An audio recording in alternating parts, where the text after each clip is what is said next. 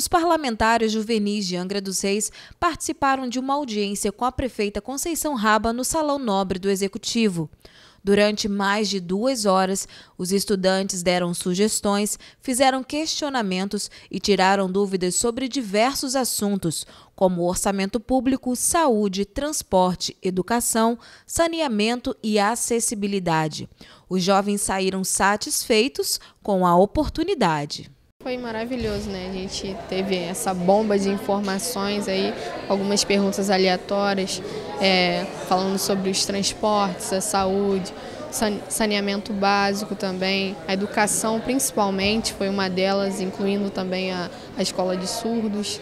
É, foi interessante, porque falamos até também sobre o orçamento, uma coisa bem privada, que muitos cidadãos de, de, próprio de Angra mesmo não, não sabem, são leigos nesses assuntos, e a gente ficou bastante antenado, é, tendo também essa, essa instigação assim, para poder estar tá mais antenado aí na, sobre essa, essa parte do, do orçamento de Angra, porque muitas das vezes a, as pessoas perguntam, mesmo sem saber, perguntam para para prefeito ou alguns vereadores, mesmo sem saber, mas esquecem de buscar, que é o mais interessante. Porque se você tem uma pergunta baseada, é muito mais fácil de você saber se a pessoa está respondendo certo ou não. As pessoas fizeram perguntas inteligentes, todo mundo se dedicou bastante para conseguir é, entender um pouco mais sobre a cidade, sobre o funcionamento, a administração. Eu acho que foi bem proveitoso para a gente essa reunião com a prefeita, onde a gente pôde entender um pouco mais sobre a nossa cidade e ver também como a gente pode é, futuramente, talvez talvez se alguém quiser participar da política, a ajudar, já tem uma noção de como vai funcionar para não chegar aqui de surpresa e, e não saber o que fazer. Eu achei muito interessante. A gente, nós esclarecemos muitas dúvidas aqui, assim, dúvidas, assim, não só nossas, mas de outras pessoas de fora que não pôde participar do Parlamento Juvenil, nossos familiares, é, conhecidos, que, ah, eu quero saber isso. Por que está acontecendo isso? Por que, que ela não faz isso? A gente, às vezes a gente diz muita coisa, mas por não saber, por ignorância da nossa parte, né? Ah, então agora acho que assim a gente já tem mais o que dizer e menos do que reclamar também. A prefeita Conceição Raba ficou surpresa com a preparação dos jovens vereadores e ressaltou a importância do projeto para a formação da juventude angrense. Eu gostei muito, né? E como professora, antes de mais nada, é, achei assim extremamente importante para o processo mesmo de formação deles. Né? É, perguntas bem interessantes, um, a gente percebe o amadurecimento deles né, na hora da formulação das perguntas. Então, querem assim a transparência, querem também se sentem, querem se sentir sujeitos desse processo né, do processo de planejamento de cidade. Então, é, fiquei muito feliz e, e vejo nesses jovens futuro, tá? e isso nos enche de esperança. Segundo o vereador Eduardo Godinho, autor do projeto de resolução que criou o Parlamento Juvenil, o momento foi muito importante para esclarecer as dúvidas dos jovens, que, segundo ele, estão mais próximos da política do que muitos pensam.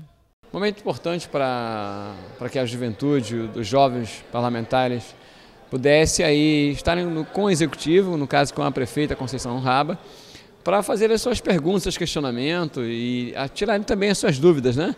Existe tantas dúvidas que os jovens aqui se apresentaram e foram muito, muito decisivos nos seus questionamentos, nas suas perguntas, as políticas para a juventude, perguntando sobre a questão da formação, da educação, perguntando também sobre os serviços da área da saúde. Penso que essa juventude, essa garotada que está hoje no Parlamento Juvenil, esteve aqui é, com a prefeita Conceição é, com uma desenvoltura muito grande e pôde, ao mesmo tempo, ter a oportunidade de ter alguns esclarecimentos que eles estavam tendo aí em relação à área da, da, da, de infraestrutura, à área de saneamento, à área também da saúde da educação saio daqui hoje muito feliz em, em ver que essa garotada está muito empenhada, cada vez mais envolvida no campo da política.